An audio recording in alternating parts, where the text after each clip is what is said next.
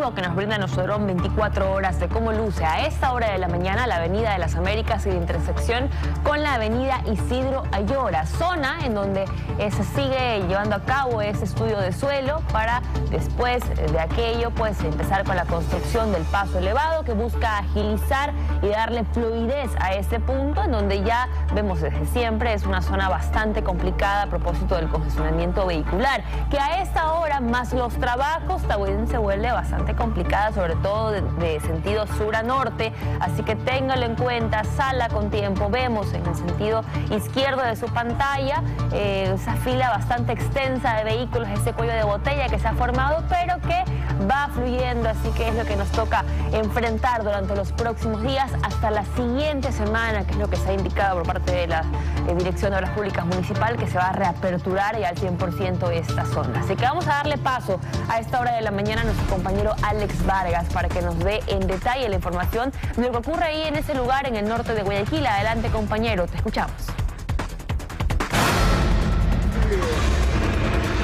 Gracias, ¿qué tal? Qué gusto. Seguimos informando acá en la Avenida de las Américas, se conecta, por supuesto, con la Isidro Ayora, norte de Guayaquil, como ustedes pueden apreciar en imágenes, el congestionamiento vehicular que se forma a esta hora de la mañana. Y qué decir ya a partir de la próxima semana, bueno, aunque se va a reaperturar un carril de servicio, pero desde luego tener muy en cuenta para todas aquellas personas, los conductores, quienes vienen por la Agustín Freire y llegan hasta la Avenida de las Américas, no podrán tomar el giro a la izquierda para direccionarse hasta la Benjamín Rosales y conectarse con la eh, Pedro Menéndez Gilbert. Por favor, tenga muy en cuenta eso a partir de la próxima semana porque estará cerrado el carril izquierdo, pero sí estará aperturado para que usted tome el carril derecho dentro de los dos que están eh, disponibles para todos aquellos conductores. Desde luego, tener muy en cuenta también que todos aquellos vehículos que salen desde el aeropuerto José Joaquín del Medio también se cerrará para dar toda la facilidad de trabajo a los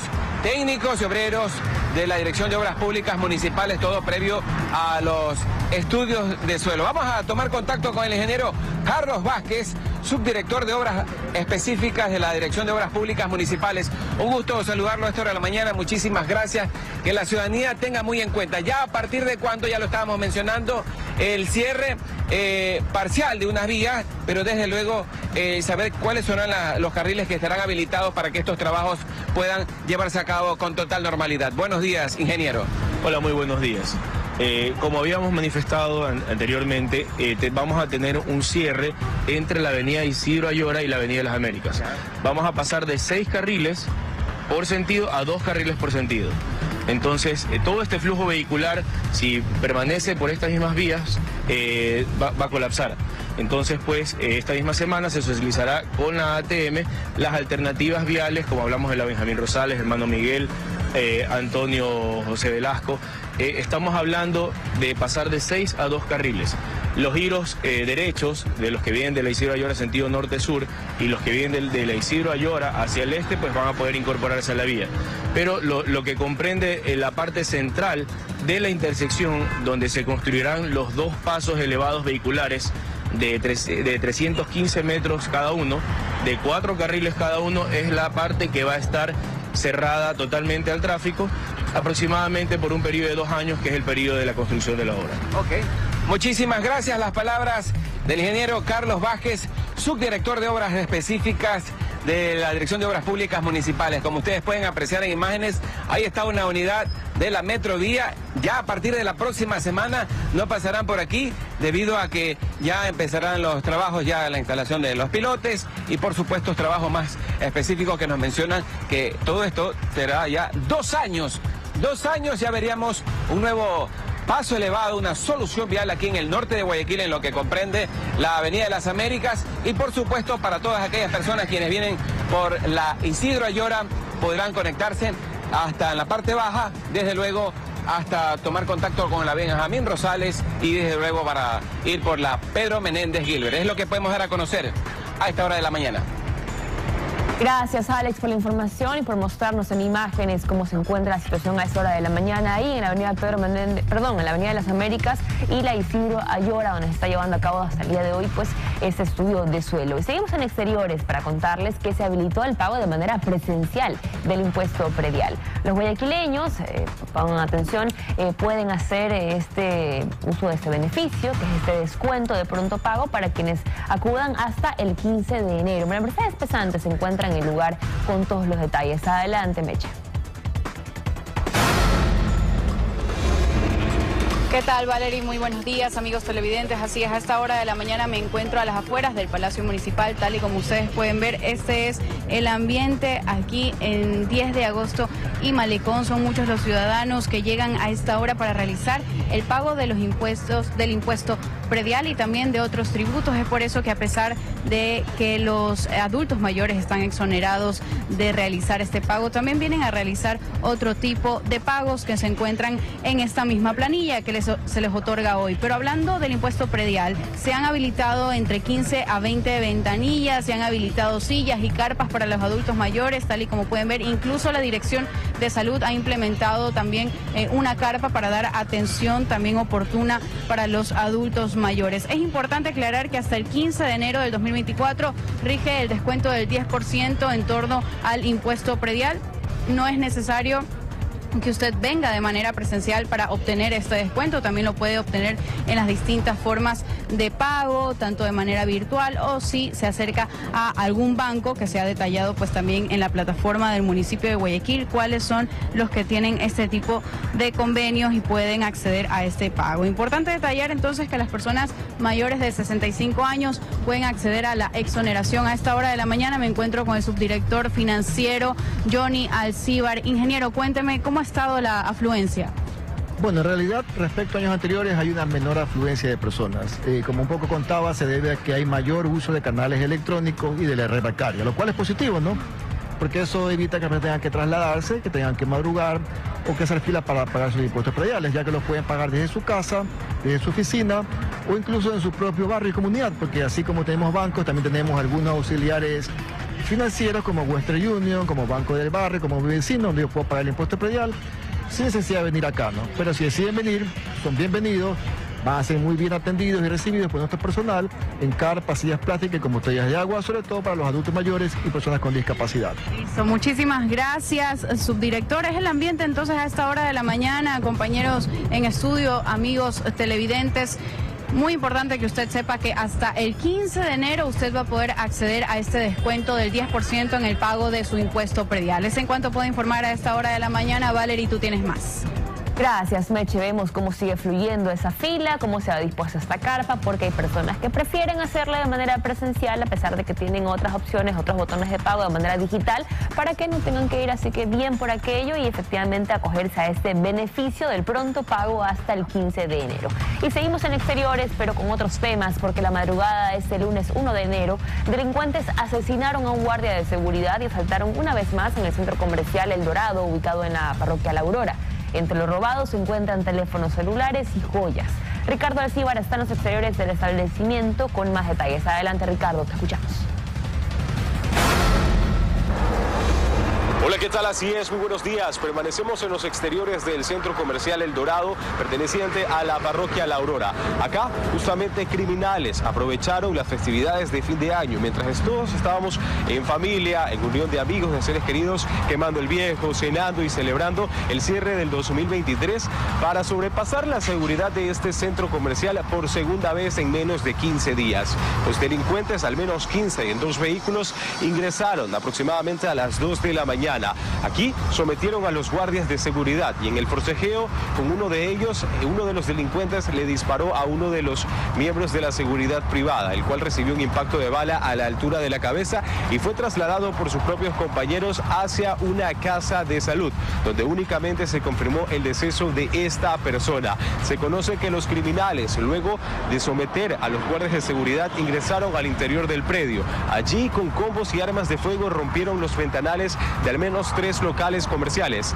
uno de ellos dedicado a la venta de joyería, otro dedicado a la venta de relojes y también uno dedicado a la venta de teléfonos celulares. Hasta el momento se desconoce el perjuicio económico que habrían causado estos criminales que por segunda ocasión llegan hacia este centro comercial y traspasan su seguridad.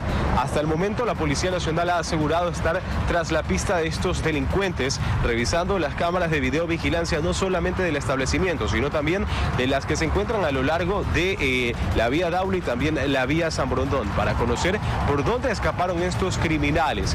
También se asegura de que ya la Policía Nacional en el primer asalto que se registró en este punto había sugerido a los administradores de este centro comercial reforzar la seguridad privada. Y es que es uno de los más grandes no solamente de eh, cantón Daule sino también uno de los más grandes a nivel nacional. Y únicamente dos guardias de seguridad estaban prestando servicio en este punto. Lo que hemos evidenciado y intentemos hacer un zoom por favor Edison Choco para que podamos ver que parece que se habría redoblado la seguridad en este punto. Hemos evidenciado al menos tres camionetas de seguridad privada y miembros eh, utilizando chalecos balísticos y también cascos balísticos para eh, custodiar este centro comercial que por segunda vez vuelve a ser blanco de los delincuentes. Se esperaría que con el pasar de este martes la Policía Nacional pueda tener noticias satisfactorias, conocer cómo van las investigaciones y a lo mejor la detención de estos criminales que se investiga si serían los mismos que perpetraron el robo en el primer caso el pasado 19 de diciembre. Hasta acá la información desde los exteriores del centro comercial El Dorado. Regresamos a estudio con más. Muy buenos Buenos días, Ricardo. Gracias por la actualización en torno a este nuevo hecho delictivo en menos de 15 días en el mismo centro comercial ahí en Aurora. Y les contamos ahora que también al menos 12 personas fueron asesinadas durante el feriado de fin de año en el Cantón Durán. El último caso se reportó en el sector de la Abel Gilbert 1. Allí cuatro personas fueron acribilladas algunos muertos. Cerca de las 2 y 15 de la tarde de este domingo 31 de diciembre, a tan solo horas de acabar el 2023, criminales a bordo de varios vehículos interceptaron a un grupo de motociclistas que circulaban por la avenida Samuel Cisneros, perteneciente al sector de la Primavera 1 en el Cantón Durán. Los sicarios detonaron una ráfaga de disparos, acabando inmediatamente con la vida de cinco hombres. Algunas personas que se encontraban caminando por el lugar del crimen se refugiaron en los locales comerciales para no ser alcanzados por los proyectiles, mientras que otros se acercaron inmediatamente a los cuerpos tendidos en el piso para intentar auxiliarlos. Pero el recorrido de estos criminales no terminó allí, ya que aproximadamente a 200 metros y con minutos de diferencia, dispararon contra otras dos personas, que resultaron heridas y fueron trasladadas por los testigos a una casa de salud. Hasta el sector llegaron familiares y conocidos de las víctimas mientras los agentes policiales cercaron el sitio para realizar el levantamiento de los cadáveres e iniciar las investigaciones. Otro hecho delictivo se registró pasada la medianoche de este lunes 1 de enero en el sector de Abel Gilbert. Aquí sicarios dispararon contra dos personas, de las cuales una murió y otra resultó herida. Simultáneamente, dos jóvenes fueron baleados en el sector de los helechos y en horas de la noche de lunes al menos cuatro personas fueron asesinadas luego de que varios criminales atacaron con armas de fuego al interior de una casa en el sector de Abel Gilbert 1. Se conoce que otras dos personas están heridas. Luego de este hecho, en la cuarta etapa del recreo, grupos de inteligencia de la policía interceptaron a un auto negro en el que se trasladaban varios sujetos sospechosos que fueron detenidos.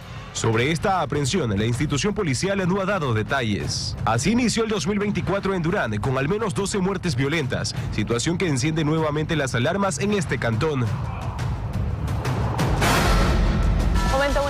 Amigos, pero al volver se vivieron festejos en todo el país cerrando el año 2023. Más adelante les contamos cómo celebraron los guayaquileños, así que quédese con nosotros. Y también mucha atención porque revisaremos información importante sobre estos cortes de agua programados para este miércoles 3 de enero, así que siga con la señal de Teleamazonas. 9 de la mañana con 18 minutos estamos de regreso para contarles que las familias guayaquileñas recibieron el nuevo año con la tradicional quema de monigotes. También pusieron en práctica varias cábalas esperando que el 2024 sea un buen año.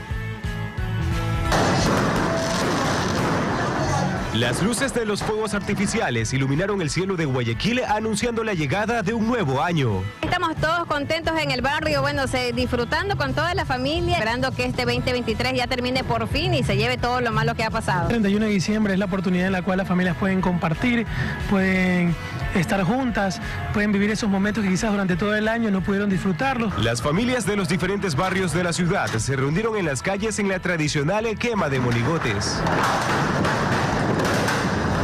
En unión de nuestras familias, esta, esta es una celebración anual que solo aquí en el Ecuador eh, se hace. Muchos aprovecharon el fin de año para poner en práctica las diferentes cábalas, como colocar un billete en el zapato derecho para mejorar su economía. Otros comieron 12 uvas representando los meses del año por venir, mientras que algunos optaron por salir con maleta en mano a recorrer varias cuadras por ese viaje soñado. También se alzaron copas en agradecimiento a lo vivido en el 2023. Aquí es una fiesta hasta el amanecer, en unión de la familia, en unión de nuestros seres queridos, la, los, los vecinos, la vecindad. Lo más importante, y creo yo que todos los ecuatorianos queremos en este momento, es que podamos vivir en paz, en tranquilidad. De esta forma, las familias recibieron al 2024 cargados de ilusiones, con metas por alcanzar y con la esperanza de un mejor año. Que así sea. Y Santa Elena recibió aproximadamente 70.000 turistas en este feriado por fin de año. Según la Cámara de Turismo, esta provincia ofertó 23 balnearios para que los visitantes inicien su año. Salinas ocupó el 85% de la capacidad hotelera, mientras que Montañita, Allangue, San Pablo y demás comunas de la ruta del Espondilus lograron ocupar el 100%. Quienes se dedican al sector del turismo aseguran que la economía para este sector se está reactivando y las expectativas para el feriado de carnaval son bastante altas. En el mundo entero también se recibió este año venidero ya población mundial que ya supera los 8 mil millones de personas. Ahí ustedes pueden ver parte de lo que fueron esos festejos alrededor del planeta. Por ejemplo, lo que pasa, o lo que pasó más bien en el Burj Khalifa, en el edificio más alto del mundo. Esto en Dubái, también lo que pasó en Hong Kong, cómo se lo recibió en el puerto Victoria. Un despliegue maravilloso de fuegos artificiales.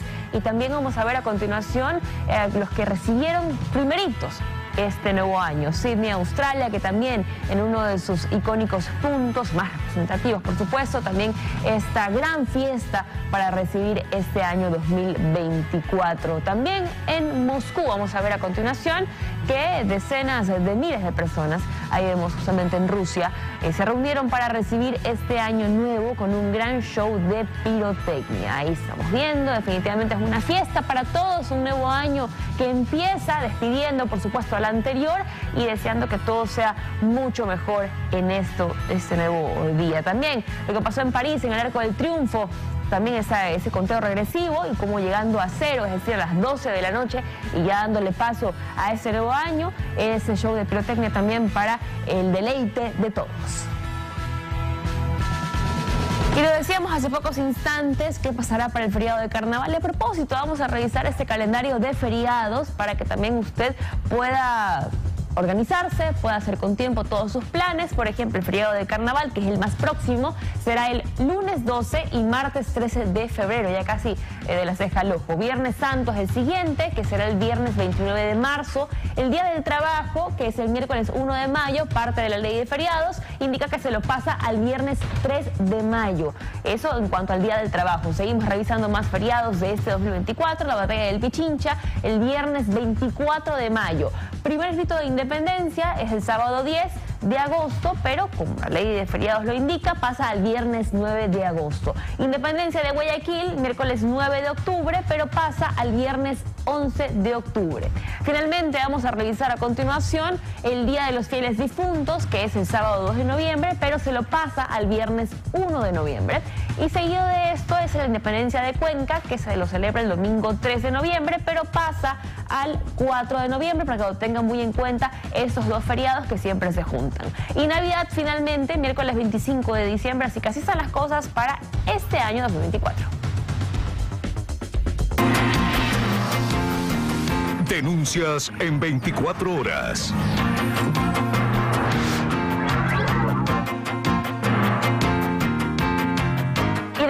Con las denuncias, amigos, para contarles que se reporta un poste a punto de caer, otro más en Guayaquil, este en la avenida 25 de Julio, en el sur de Guayaquil.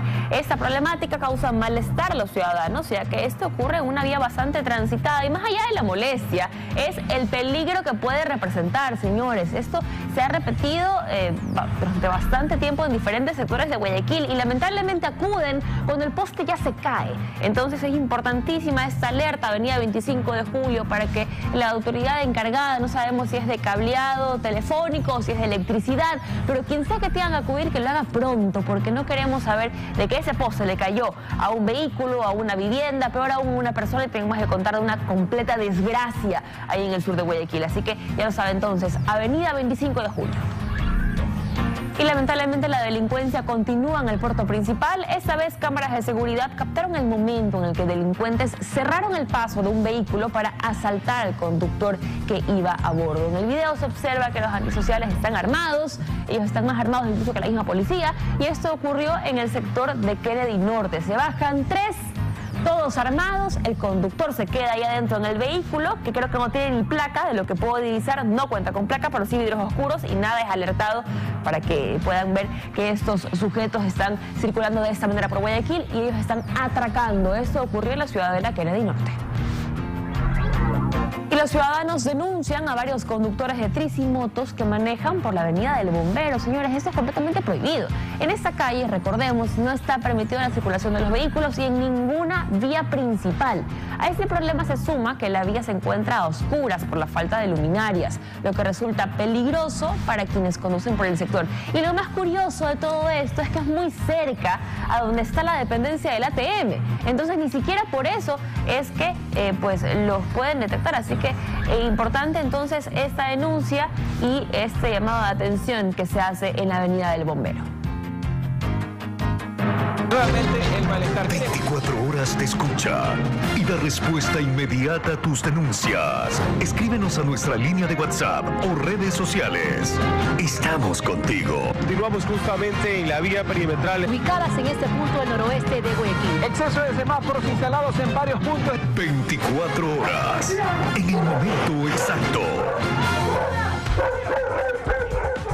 Más información importante para ustedes. Vamos a hablar ahora de un corte programado que ha indicado pues la empresa Interagua para el día de mañana. Vamos a ver que el horario será de 9 de la mañana hasta las 7 de la noche de mañana, miércoles 3 de enero. Vamos a revisar algunos de los sectores afectados. Igual siempre verifique en las cuentas oficiales de Interagua, donde le indican el listado completo de los sectores afectados por este corte de agua. Pero por los que podemos nombrar están Bastión Popular, bloques 8, 9, 10 y 11. También está Organización Arte Jardines El Salado, Conjunto Residencial El Manantial, que se verá afectado por este corte de agua programado. Seguimos revisando más eh, sectores, también está la zona de Ceibos y los cedros que van a verse pues afectados por este corte de agua programado desde mañana 9 de la mañana hasta las 7 de la noche. Tomen sus precauciones para que no sea tantas las molestias producto de ese trabajo que realizará Interagua el día de mañana. Y antes de finalizar, queremos contarles ya en otro tema que cerca de las 2 de la mañana de este 1 de enero nació el primer niño en el Hospital de la Mujer Alfredo Pulson en Guayaquil. Para sus padres fue una sorpresa iniciar este año con la llegada de su primer hijo.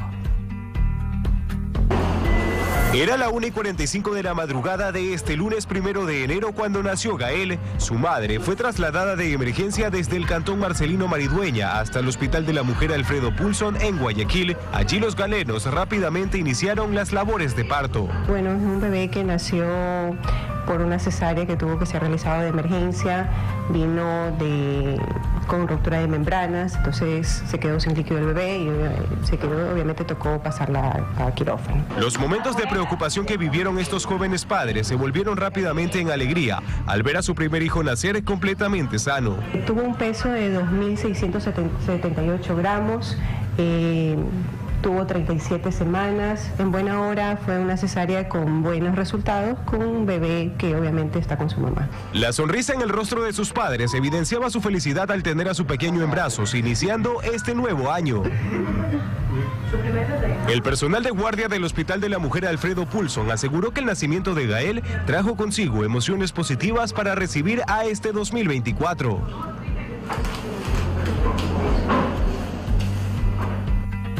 Una verdadera sorpresa, pero es el regalo definitivamente de todas estas fiestas. Así que un abrazo inmenso a estos nuevos padres que disfruten muchísimo de esta nueva etapa que sin duda está llena de sorpresas, pero con este amor tan maravilloso de parte de ese nene precioso que nació este 1 de enero. Y con esto de aquí amigos, como siempre, gracias por la sintonía. Queremos agradecerle por todo ese tiempo y arrancando un nuevo año con mucha información. Así que recuerde que a la una de la tarde hay más noticias aquí en 24 horas. Que tengan un excelente día.